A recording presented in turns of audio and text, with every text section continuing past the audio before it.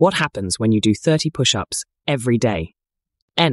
Οφέλη των καθημερινών 30 push-ups, βελτίωση στάσης σώματος και ενίσχυση κορμού, ενίσχυση πάνω μέρους σώματος, βοήθεια στην απώλεια βάρους.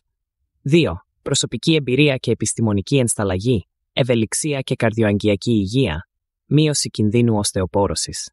3. Τεχνική εκτέλεσης και συμβουλές. Η σημασία της σωστής τεχνικής.